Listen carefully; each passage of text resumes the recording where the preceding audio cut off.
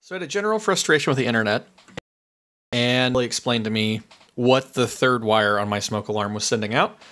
Um, I did find one post. Somebody, uh, an electrician, thankfully, said, uh, "Oh, it's nine volts. It just connects nine volts from nine volt battery." Um, a bunch of fear mongering about what what concerns we should or shouldn't have about the fact that it's um you know some aren't detect compatible or are compatible. And everybody's like, well, most of the time they just work. Um, after seeing what I've seen here, then I think any smoke detector should generally work with a third wire signal. Um, so I've got my voltmeter here set to um, volts DC, right? Um, and I've got my leads connected to the neutral and the signal wire. And I'm going to hold down the smoke detector, and you're not going to be able to hear me because it's going to get stupid loud.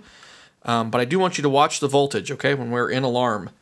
Um, and this battery is a bit old, so it's a bit soft, but you'll still see the voltage spike. So go ahead and watch.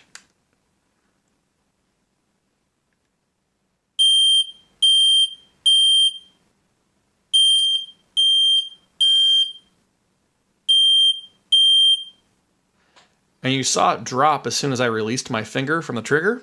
But uh, yeah, that confirms it. So basically, we are connecting battery voltage um, between the neutral and the signal wire.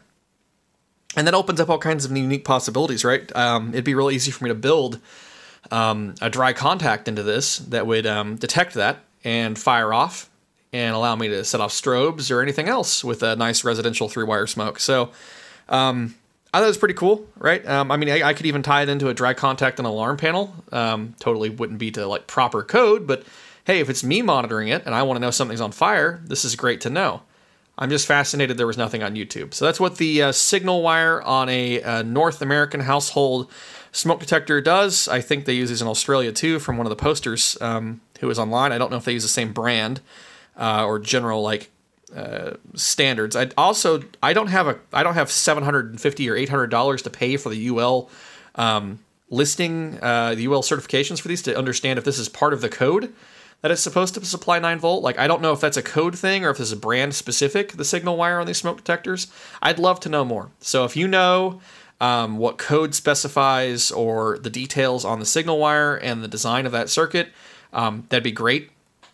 Other than that, though, I think the assumption is pretty strong that it, it um, applies 9 volts from the battery, which makes sense since you can't guarantee AC power will be available, um, and applies it to that signal wire. So between uh, neutral and signal, you have a potential difference of 9 volts DC, and that's enough to tell the other smoke detectors, hey, stuff's gone sideways, start beeping. Um, so, anyhow, have fun, guys.